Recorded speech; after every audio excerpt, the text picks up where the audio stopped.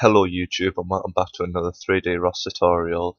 Today I'm going to go over the basics of animation in Unreal Engine 4 using the level sequencer.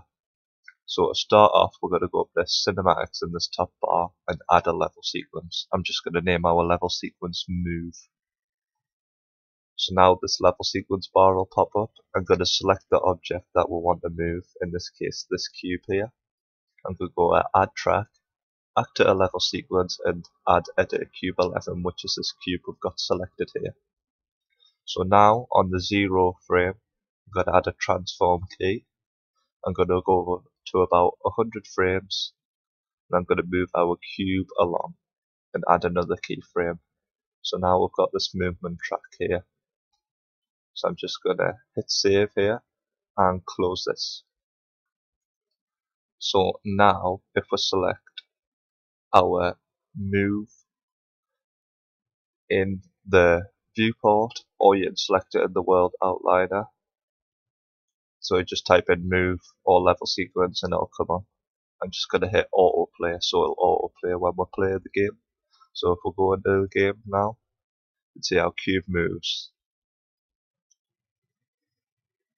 If you want to trigger this, we just turn off autoplay and if we go into if we're dragging the box trigger so when the player goes on this trigger we'll have the animation start.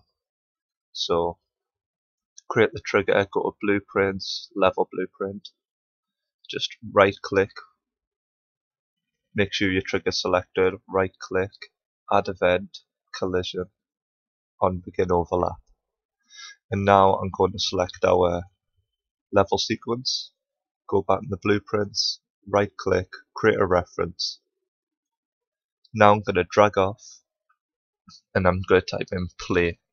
And here where it says play sequence player, just select that. Now connect these two nodes together and hit compile, save. So now if I play the game, notice how the cube doesn't move, but when I enter the trigger box, the cube moves. So that was the basics of move animation using the level sequencer in Unreal Engine 4. I hope you found this video helpful. If you did, give it a like and subscribe to 3D Ross on YouTube. Thanks for watching and I'll see you in the next video.